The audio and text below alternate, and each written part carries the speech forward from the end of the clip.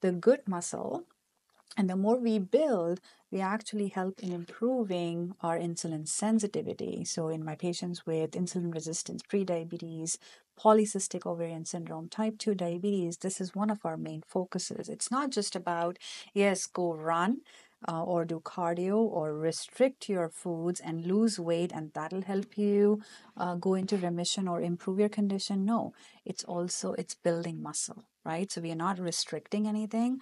We're actually optimizing our physical activity in the right manner so that we have more muscle fiber.